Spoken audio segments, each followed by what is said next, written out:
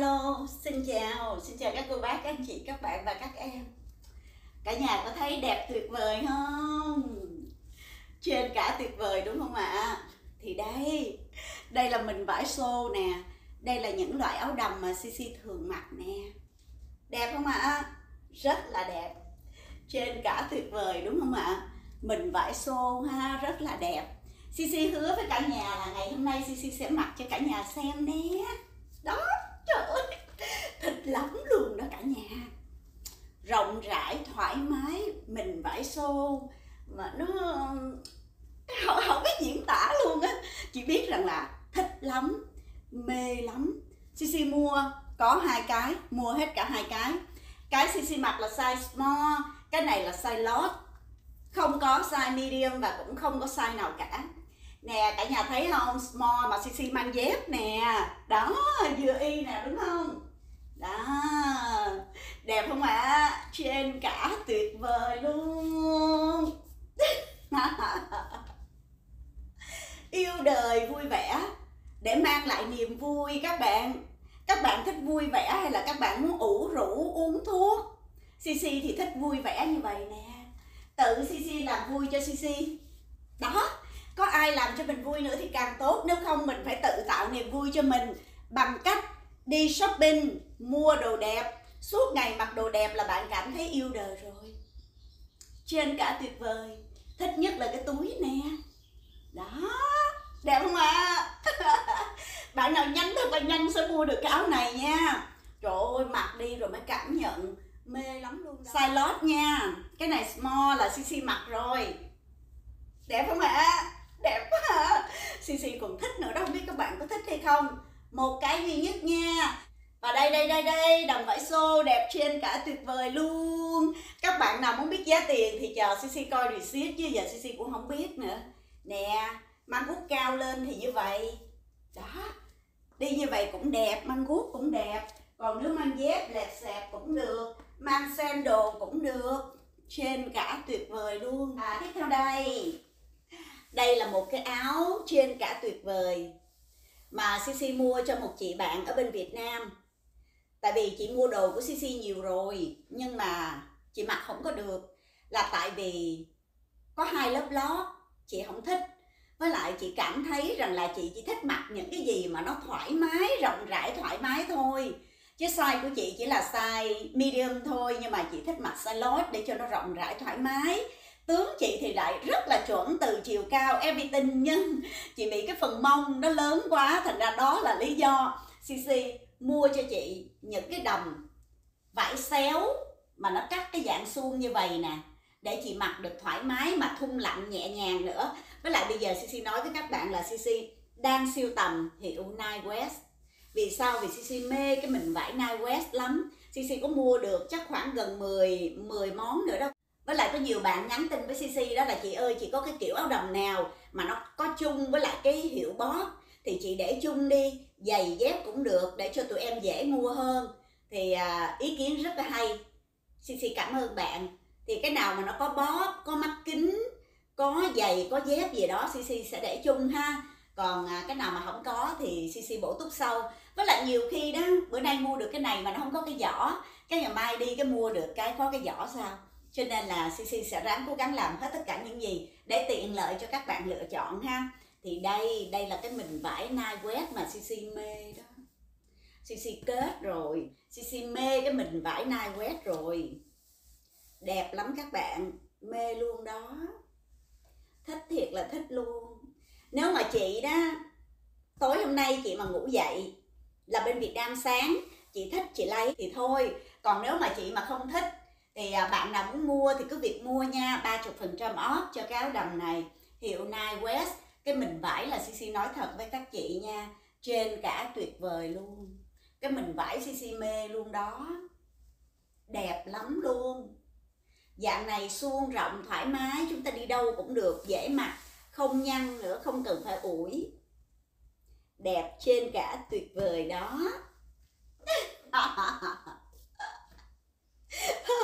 Các bạn thấy có ai bán hàng giống CC không các bạn? CC đó là cố tạo niềm vui cho mình. Thì bạn nào mà muốn vui lây với CC thì vui. Tại tại sao chúng ta không tạo niềm vui cho chúng ta? Để chúng ta có được những nụ cười mà phải mang những cái buồn bực những cái u ám tới làm như vậy các bạn sẽ mau già lắm. Không ai tạo niềm vui cho các bạn. Chính mình mình phải tạo niềm vui cho mình. Chứ bây giờ mình biết làm gì giờ? Ở nhà không à bốn bức tường, buồn quá. Muốn đi ra đường thì đâu phải ngày nào các bạn cũng đi được. Nếu các bạn làm công việc như CC các bạn mới đi được. Còn ở nhà không đó, buồn lắm. Nhất là các chị lớn tuổi đó hãy tạo niềm vui cho các chị nha. Không ai mang niềm vui tới cho mình thì mình phải tạo niềm vui cho mình bằng cách vào xem phim hài hoặc là bất kỳ một cái gì mà các chị cảm thấy nở được một nụ cười ở trong ngày làm nên làm, ok? Niềm vui mình tự tạo cho mình. Đừng có sợ ai cười. Chị làm sau mỹ chị có được nụ cười là vui rồi. Hoặc là ai mà biết chia sẻ video đó, làm video cũng được không cần các chị phải làm kiếm tiền. Thí dụ như kiếm được đồng tiền ở bất kỳ một cái gì nó cũng khó khăn lắm. Nhưng mà các chị tự tạo niềm vui cho các chị. Đi lên facebook, đăng video, ngồi hát, ngồi ca, ngồi kể chuyện, hoặc là mua một cái gì đó mình khoe trên facebook để chi để cho người này bắt chước mình, theo mình. Cũng là một điều tốt. Hãy tạo niềm vui cho mình. Nghe lời cc đi. Các em trẻ trẻ cc không nói ha, nhưng mà các chị lớn tuổi đã về hưu rồi. Đừng có buồn. Mỗi lần mà cc nhận được những cái tin nhắn của các chị đó cc ơi, bữa nay chị buồn quá. Cc thật sự cũng không vui nữa. Tại sao mình phải buồn? Ai cũng có nỗi buồn, nhưng dẹp nó qua một bên đi. Tạo niềm vui cho mình đi, thì cái nỗi buồn đó nó sẽ vơi đi một phần nào. Đừng có để buồn ám vào ở trong người của mình. Như vậy mình là người thiệt, chứ người ta không có thiệt đâu thí dụ bây giờ nè, có một chị 67 tuổi, nhắn tin với CC CC ơi, đây là lần thứ 9 ổng lại bỏ chị đi nữa rồi CC chị buồn quá, nhưng mà chắc duyên nợ chị với ổng không rứt ra được, cho nên đã ly thân rồi, sau đó ly dị rồi, sau đó lại kết hôn trở lại, rồi sống với nhau, rồi bây giờ đúng là ngựa quen đường cũ cc ơi. Ổng vẫn như vậy em nhưng mà chị hỏi em nè, sáu mươi mấy tuổi rồi, ổng còn có thể cặp được với người này người kia. Chị sáu mươi mấy tuổi rồi, chị cặp với ai? Trong khi mình đâu có giàu có gì. Nếu mà chị giàu có hả, chị nuôi thẳng một thằng nào luôn đó. Bây giờ chị nuôi nó, ai muốn nói gì thì nói, chị đâu có khe miễn là nó chăm sóc cho chị, nó lo lắng cho chị. Chị cũng vui vậy, nhưng mà chị phải có tiền. Chị phải có tiền thì cái người thanh niên trẻ đó, họ mới theo chị chứ chứ đâu có một người thanh niên trẻ nào mà đi theo một bà già mà lại không có tiền nữa. Phải lo lắng cho chị mà không chừng phải nuôi chị nữa. Đâu có người đàn ông nào họ khùng như vậy đâu em. Thành ra đó chị buồn lắm cc mà bây giờ chị không biết làm sao nữa. Việt Nam bây giờ bắt đầu mở cửa cho đi về lại rồi đó. Ổng lại bỏ chị, ổng đi nữa rồi. Chị vào email chị đọc được tin nhắn mà. Buồn quá. Bây giờ chị không biết làm sao. Chị nghe lời em nè. Em nói thật luôn. Bây giờ đừng có nghĩ tới là Cần kiếm tiền để giàu 10 năm nữa thôi chị. Bây giờ em cho chị sống dai thật dai 20 năm nữa đi là xong rồi. Không ai ham sống vậy đâu. CC chỉ mong tới 65 tuổi là em đó các bạn. CC chỉ mong như vậy thôi. Mình càng lớn tuổi mà sức khỏe mình không có, mình còn làm hại con mình thêm nữa, làm cho các cháu lo lắng nữa. CC chỉ cầu xin cho tới 65 thôi. Còn trên 65 đó hả? Thì CC mong khỏe mạnh được ngày nào hay ngày đó. Chứ nếu mà đã trên 65 rồi mà CC đâu yếu bệnh hoạn hoài để cho các con phải lo lắng CC không muốn như vậy. CC mong Chúa hãy đón CC đi. Là như vậy. Chúng ta luôn luôn sẵn sàng dọn mình để đón Thiên Chúa. Không có gì các bạn phải lo lắng sợ hãi cả. Bây giờ nè CC có nhiêu tiền chơi láng hết, xài láng hết cả các bạn miễn sao có đủ tiền trả bill là khỏe rồi. Sống nhẹ nhàng, sống thoải mái. Chứ bây giờ kiếm tiền nhiều để làm gì nữa, cho ai nữa? Bây giờ các chị lo cho bản thân các chị đi. Kiếm được đồng tiền, đi shopping, đi chơi, đi ăn uống, đi vui vẻ, hoặc là đi du lịch đi. Nghĩ tới ổng làm gì nữa? Lớn tuổi rồi, đừng có để người ta làm cho chị buồn như vậy. Chị lo cho chị đi là chị cảm thấy yêu đời. Đó chị thấy không? Chăm sóc cho ổng mấy chục năm trời. Bây giờ mình già rồi, mình cần có ổng ở bên cạnh mình để chia sẻ niềm vui. Mà chị nói đã bao nhiêu lần ông bỏ chị cũng đi theo con này, con kia rồi. Ok, duyên nợ của chị không rứt ra với ổng được. Mười mấy năm như vậy, đủ rồi. Đủ rồi. Đừng có nghĩ tới nữa.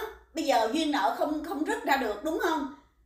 Chị là phật giáo nha các bạn, chứ không phải chị là công giáo nếu chị là công giáo cc không dám nói những điều này ha. Nhưng mà cc cũng không có suối, chị là bỏ ổng. Cc không suối nha, không có suối nha. Nhưng đừng có nghĩ tới ổng nữa. Ổng muốn đi đâu ổng đi đi. Ổng muốn cặp với ai ổng cặp đi. Đừng có buồn, đừng có khổ gì cả. Tiền trong nhà băng, chị nhớ, giữ. Cái nào của chị, sau những cái ngày tháng mà chị đã về hưu, chị về hưu được 5 năm rồi đúng không? Thì cái gì chị có, giữ đi bây giờ có thể nhà băng của anh, của em chung một cái, ít ít tiền. Còn của anh là của anh, của em là của em đi. Bây giờ hai vợ chồng không làm gì ra tiền, ăn tiền hưu. Thì em thấy là em cũng biết sao nữa, nhưng mà ý của em á là đừng có để cho những cái nỗi buồn nó vô tới chị nữa. Sáu mươi mấy tuổi rồi, còn trẻ gì nữa đâu. Sao mà chị chống được những cái lúc buồn bã như vậy? Vui vẻ lên, yêu đời lên, đi shopping đi đi du lịch đi đi ăn uống đi, chị lấy được xe mà, đúng không? Thoải mái đi chị, kệ không đi, buồn rầu làm gì? Chị nhắn tin cho em em nghe em còn buồn buồn mà giận nữa đó. Tại vì em đã nói với chị nhiều lần rồi. Ngựa quen đường cũ. Mà ổng thật sự nha các bạn, ổng đẹp lắm các bạn. Ổng đẹp lão lắm. Và chị thì ok thôi ok thôi. Với lại là các bạn biết sao không? Chị được cái tướng cao. Nhưng mà chị không có sửa soạn gì hết đó không có ăn diện, không có sửa soạn gì hết trơn á. Chị không có lo cho chị, lo cho chồng, cho con không à. Mấy chục năm trời, từ Việt Nam tới giờ luôn. Thì đó là một người phụ nữ trên cả tuyệt vời. Nhưng tới cái lúc này rồi, em nói thật nè. Thí dụ bây giờ ông đi ra ngoài đường, ông gặp một người như chị đi, giống y như chị, không bao giờ ông cua con nhỏ đó. Chị ở nhà ngon hơn. Chị còn nấu ăn này nọ, lo lắng cho ông được hơn cho nên ông ra đường, ông nhìn những cô trẻ, đẹp, hấp dẫn. Rồi trong đầu ông tự nghĩ viễn vông, ô, tôi gặp được cô đó, tôi sẽ vậy vậy vậy vậy đó. Còn vợ tôi không được vậy vậy. Dĩ nhiên là máu ở trong lòng người đàn ông mà. Trỗi dậy, ham muốn tiến tới với cái cô đó, vì cô đó cũng mở lòng mà. Rồi làm được chuyện gì hay không thì đó là chuyện ổng với cô đó biết. Thành ra nghe lời em không cần mua đồ đắt tiền, không cần mua đồ hiệu luôn. Mua những đồ mặc bình thường, hai mươi mấy đô một cái là đủ rồi. Hai tô phở. Ở nhà, hai ngày đi, không đi ra tiệm ăn, nhà nấu đồ ăn ăn đi. Mua một cái áo đầm cho em. Mặc áo đầm, đi tung tăng, giống như em như vậy nè. Vui vẻ, yêu đời nè. Đó. Tạo niềm vui cho mình. Thay đổi đi. Rồi chụp hình đăng lên facebook đi. Facebook của chị ổng vẫn vô mà, em thấy mà đăng lên facebook. Ngày hôm nay tôi yêu đời dù không có ông ở bên cạnh tôi dù ông đi việt nam tôi vẫn yêu đời. Đi ra tưới cây nè đi ra hái hoa nè chạy bộ nè đi bộ chụp hình đăng lên facebook cho em. Chị phải thay đổi chị đi. Chị biết chồng chị biết nhìn con nhỏ khác đẹp nè uh, hấp dẫn nè thế này thế kia. Chị buồn nè chị khóc nè chi vậy? Mình lớn tuổi rồi nếu chị còn trẻ em không nói hãy tự tin lên, nghe lời em đi. Nha, em sorry chị là ngày hôm qua em không có bắt phone chị được. Là tại em mệt quá, ngày hôm qua luôn á, đến nỗi em phải off phone em ngủ luôn, bị sổ mũi á. Uống thuốc vô là chịu, không có nổi luôn á. Thành ra em không bắt phone chị chứ không phải là không có chuyện gì đâu ha. Rồi, lạc đề rồi các bạn. Xì xì. Thông cảm cho xì xì nha nhiều khi đó Sisi đang làm việc này mà trong đầu Sisi hay nghĩ tới chuyện khác lắm. Nhớ cái gì nói ra liền à các bạn sợ quên. Xin lỗi xin lỗi nha. Đang, đang giới thiệu áo thì tự nhiên cái lạc qua chuyện khác là tự nhiên trong đầu nghĩ tới chị cái nói luôn à. Chị coi video của Sisi là không bỏ sót video nào đâu. Cho nên Sisi nói là nói với chị đó. Không phải mình em đâu. Bất kỳ khán giả của em ai nghe được cái tâm sự của chị chị nói rằng là CC ơi, ổng lại bỏ chị đi nữa rồi em.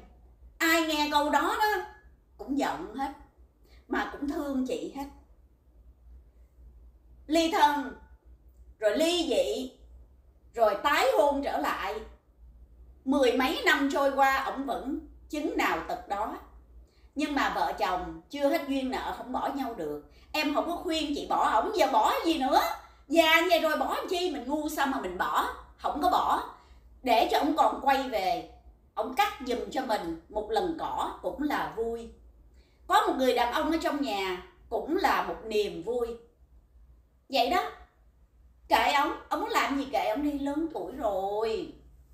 Bây giờ chị mà làm găng quá hay là này nọ ông bỏ ông đi nữa thì ai cắt cỏ giùm chị? Rồi đôi khi chị cần cái gì nữa cũng không được đâu. Chỉ có hai vợ chồng ở nhà thôi à. Kệ đi. Bỏ qua nghe lời em thử coi coi ông có quay về không? Mặc đồ đẹp lên. Thí dụ ông về mà ông hỏi đó, trời ơi, sao bà thay đổi quá vậy? Mở kênh của em lên, cho ông nghe. Nói cc nó biểu tôi vậy đó. Nha. Ảnh vào ảnh xem video của em nhiều lắm anh cũng bình luận nhiều lắm. Chị biết ra đúng không? Đó. Tự tin lên, tạo niềm vui cho chúng ta. Nha chị nha. CC xin được tạm ngừng video ở đây. Kính chúc cả nhà một ngày mới, vui vẻ, bình an và hạnh phúc. Hẹn gặp lại cả nhà những video tiếp theo. Bye bye. I love you. I love you, chị. Ráng lên. Không có buồn. Ok. Bye bye.